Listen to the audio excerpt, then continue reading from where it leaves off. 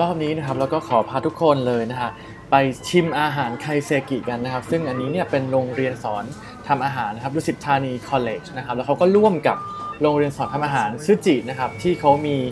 สถาบันสอนทำอาหารเนี่ยอยู่ที่โอซาก้านะครับโตเกียวแล้วก็ฝรั่งเศสด้วยนะครับ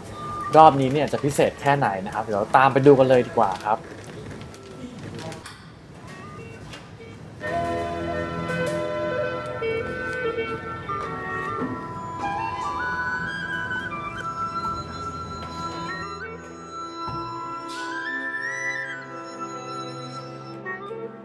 พูดถึงสถาบันซึจิเนี่ยนะครับก็จะเป็นสถาบันการสอนการประกอบอาหารที่มีชื่อเสียงมากๆเลยนะครับที่ญี่ปุ่นนะครับแล้วก็เขาขยายสาขาไปที่ฝรั่งเศสด้วยนะครับช่วงแรกเนี่ยที่เราไปเรียนนะครับช่วงเช้าเขาก็จะสอนเกี่ยวกับการประวัติของอาหารญี่ปุ่นนะครับว่ามีมานานแค่ไหนแล้วนะครับพวกภาชนะต่างๆ ที่ใช้ในการบรรจุอาหารแบบไคเซกิเนี่ยมีอะไรบ้างเขาจะแบ่งเป็นฤดูกาลเลยนะฮะอันนี้ก็จะเป็นพื้นฐานของอาหารไคเซกิเราอยู่กันที่ ดุสิตธานี College นะครับ Excellent Excellent อะไรวะ Excellent Center ก็เรามากินอาหารไคเซกิกัน ซึ่งอาหารไคเซกิเป็นอาหารชั้นสูงของญี่ปุ่น มันก็คือเป็นเป็นอาหารญี่ปุ่นที่มันจัด set menu เป็นมี starter มีอ๋อ main course มีของหวานเป็นเมื่อเช้าเราก็มาฟังประวัติ ของที่นี่คไปวามเป็นมาว่าความเป็นมา1,500 ปีอาหารของญี่ปุ่นพัฒนายังไง จากอืมที่กินข้าวกินเอ้ยไม่กินข้าวกินธัญพืชเกลือเออเออมันก็มีจนเขาปลูกพัฒนาข้าวเป็นปลูกข้าวเป็นพัฒนาเป็นมีซอสมีซอสเสร็จอ่าก็พัฒนามีการพัฒนาเป็นการมีหมักมีดองมีหมักดองมีย่างมีอะไรแล้วมีมีถึงทอด ขึ้นมาอะทอดทอดมาที่หลังตอนหลังขึ้นมาทีหลังแบบทอดนึ่งตอนที่มีจากจีนอันอ่าอิทธิพลจากประเทศอื่นจากจีนเข้ามาแล้วก็รวมถึงยุโรปแล้วก็อืม and apply มาถึงเรากินในปัจจุบันนั่นเอง แต่ว่าแน่นอนว่าวันนี้เรามีเชฟเป็นเชฟญี่ปุ่น ใช่ ซึ่งสอเขาก็คนเขามาจากอ่าสถาบันสอนทำอาหารซึจิที่จากประเทศญี่ปุ่นเลยอ่าทางนั้นเขาก็จะมา original เป็นยังไง แล้วอยากให้คนไทยเข้าใจว่า การกินอาหารญี่ปุ่นที่มีที่มาที่ไปเป็นเป็นยังไง อ่า แล้วก็สำหรับใครที่อยากจะเรียนรู้อาหารญี่ปุ่นก็มาก็มาที่ที่นี่ดูได้สิใช่ดุสิตธานี College College ที่อันนี้อยู่ตรง Excellent เอ่อ Center Center นะครับ ตรงนี้อยู่ตรงเขาเรียกว่าต่ออย่างนี้ กรุงเทพพนิชยาการนะครับ หรือว่าซอยซอยตรงเพชรบุรีนี่แหละอ่านะเดี๋ยวเราใส่ไว้ใน description ไปดูในครัวดีกว่า นี่ครัวอยู่ตรงนี้ ตามเลยไปตามเลย มามามา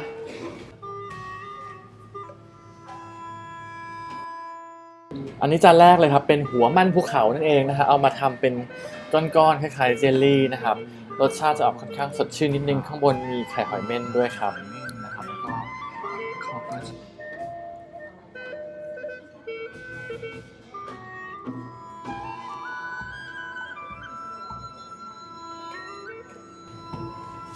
อันนี้เป็นซุปปลาแห้งนะครับที่ท่านอาจารย์ฮิโรกิเนี่ยนะครับเขาก็ต้มเอาไว้นะเอาไว้ทำซุปต่างๆ เป็นอาหารให้เราทานเองนะครับ กรองเรียบร้อยเลย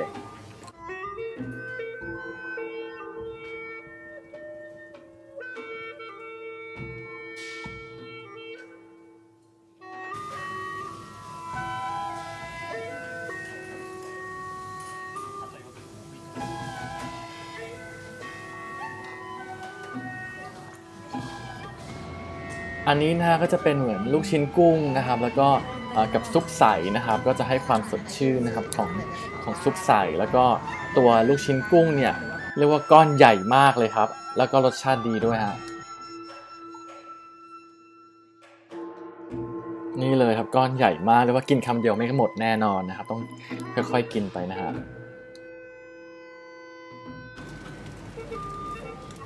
อ่าอันนี้ก็คือเรียกว่าเป็นอยู่ในอาหารย่างของเขานะครับ เป็นปลาอินทรีนะครับ ที่เขาเอาไปหมักนะครับ แล้วก็เอามาย่างนั่นเองนะครับหอมสุดๆเลยเขาบอกตอนเขาย่างอยู่ครับ ผมแอบเข้ามาถ่าย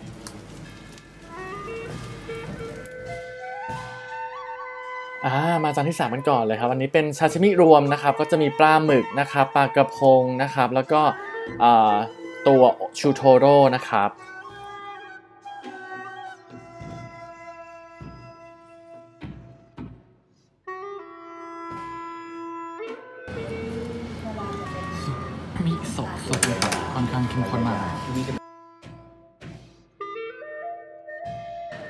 หม้อนี้เนี่ยนะครับเขาใช้เวลาต้มค่อนข้างนานเหมือนกันนะครับเพื่อให้น้ำซุปเนี่ยมันซึมเข้าไปในเนื้อไอ้ก้อนๆนั่นเองก็คือ มันเป็นเต้าหู้ครับเป็นลูกชิ้นที่ทำจากเต้าหู้นะครับข้างในก็จะมีกุ้งอยู่ด้วย ซึ่งอันนี้เนี่ยเขาจะใส่ซุปมานิดเดียวนะครับ ให้เรากินแห้งๆอย่างเงี้ยแล้วนะครับ รสชาติเนี่ยก็จะคล้ายๆกับลูกชิ้นกุ้งนั่นแหละครับ แต่ว่าจะมีความเป็นเต้าหู้เยอะกว่านะครับ อันนี้เนี่ยผมค่อนข้างชอบมากเลยครับเพราะว่ารสชาติมันดีจริงไ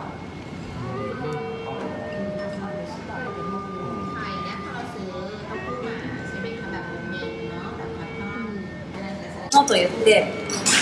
全てあのどの材料であっても煮物って言ったらお出汁の中で使って炊いて ค่ะ ま นิโมโนก็คือความหมายคือในส่วนของวัตถุดิบเราไม่จำกัดนะคะว่าจะต้มอะไรค่ะ แต่ว่าเบสด้วยน้ำซุปก็คือจะใช้น้ำซุปนะคะในการต้มค่ะอาหารจำพวกนี้ค่ะ เราสามารถเรียกได้หมดเลยว่าเป็นนิโมโนนะคะ す魚でも เป็นปลาก็ได้ イ カあの เป็นปลา お肉でも เป็นเนื้อก็ได้อย่างเงี้ย 今日 ค่ะ のようなピロースでも ค่ะถ้ามันต้มลงไปใน 全部煮 น้ำซุป 物と言います นะคะเนาะมันก็เรียกว่ามันเป็นนิโมโนได้เหมือนกัน แต่พอต้มเสร็จ เรานำสันนะคะที่เราแรกเป็นชิ้นๆอยู่แล้วค่ะ วางบนด้านหน้าค่ะหลังจากนั้นก็ปิดฝาค่ะ เพื่อให้ความร้อนที่คงเหลือในหม้อค่ะทำให้ปลาสุก ๆอืม 下からこ โอเคค่ะงั้นเดี๋ยวเวลาทานค่ะ う 混ぜますね ค่ะเดี๋ยวอาจารย์ 崩 จะ します อันนี้ถ่ายรูปเรียบร้อยแล้วนะคะเดี๋ยวอาจารย์จะผสมแล้วนะคะค่ะ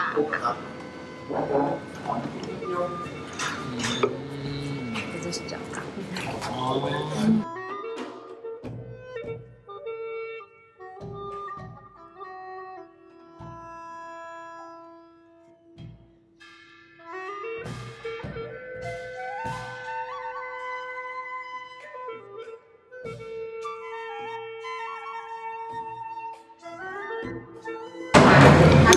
เป็นแบบว่ามิมิโซะค่ะแล้วก็จะอาจจะใส่เป็นพวกพริกปกติทั่วไปค่ะแต่ว่าชิชิมิเป็นพริกเผ็ดนะคะน่าจะเข้ากันดีกว่า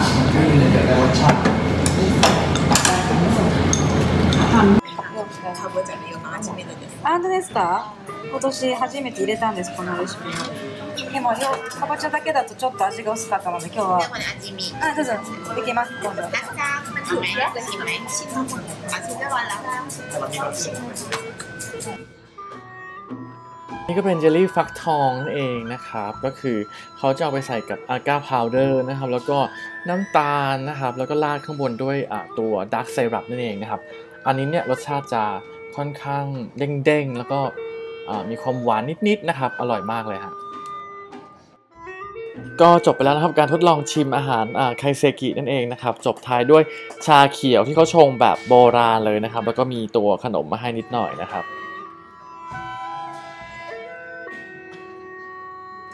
สำหรับใครที่อยากเรียนทำอาหารญี่ปุ่นนะครับ หรืออยากจะเปิดร้านอาหารญี่ปุ่นเนี่ยก็ติดต่อไปได้นะครับที่ดุสิตธานี College นะครับเขาก็ร่วมกับสถาบันซึจินะครับที่จะสอนตั้งแต่ เรียกว่าการร้านร้านอาหารเลยแหละครับ ว่าทำยังไงบ้างครับอินกริเดียนต้องซื้อจากที่ไหนนะครับเขาจะมีสอนหมดเลยนะครับ ทุกเมนูเรียกว่าเข้าไปเรียนหมดคอร์สเนี่ยทำเปิดร้านอาหารญี่ปุ่นได้เลยครับ えーと要は懐石ってやっぱりまだなんていうんですかね本当の懐石料理っていうのが、まあ、世界的にこうちゃんとこう理解していただいてないっていうところもあると思うので、まあ、それを知っていただいて で知っていただくことによってその食べ方であったりとかなんでこういう料理ができたのかっていうのが分かると、まあ、あのもっとよりこう日本料理に興味があの持ってもらえるんじゃないかなと思ったので。はい ค่ะแต่เหมือนในปัจจุบันเนี้ยค่ะเซนเซนก็มองว่าเอ่อยังมีคนที่ทราบ แล้วก็เข้าใจในเรื่องของใครเศรษฐกิจที่แท้จริงอะค่ะยังไม่มากนักนะคะ โดยเฉพาะในต่างประเทศค่ะเลยมองว่าการที่ ท่านได้มีโอกาสที่มาเรียนในคลาสเนี่ยค่ะก็จะได้มีความเข้าใจที่ถูกต้อง ไม่ว่าจะเป็นในเรื่องของวิธีการทานอาหารที่ถูกต้องนะคะลำดับการเสริมอาหารต่างๆเนี่ยค่ะก็จะเชื่อมโยงไปถึงการทำให้สนใจที่จะเรียนรู้อาหารญี่ปุ่นนะคะแบบดั้งเดิมที่แท้จริงมากขึ้นค่ะ